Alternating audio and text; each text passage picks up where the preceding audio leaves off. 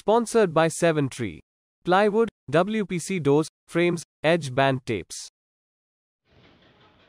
वारंगल जिला वारंगल ईस्ट निर्वाचन के विधायक नरेंद्र ने कहा मुख्यमंत्री केसीआर मंत्री केटीआर की मदद से वारंगल के ईस्ट निर्वाचन क्षेत्र को उस भूमि के साथ विकसित कर रहे हैं जहाँ उनका जन्म और पालन पोषण हुआ था विधायक नन्न पनीनी नरेंद्र ने वारंगल जिला शिवनगर क्षेत्र विकास समिति की बैठक में भाग लिया और कहा, मुख्यमंत्री केसीआर, मंत्री केटीआर के सहयोग से शिवनगर क्षेत्र के लोगों के विकास के साथ साथ पूर्वी निर्वाचन क्षेत्र को हर तरह से विकसित करने के लिए आगे बढ़ रहे हैं, जिन्होंने राजनीतिक योगदान दिया।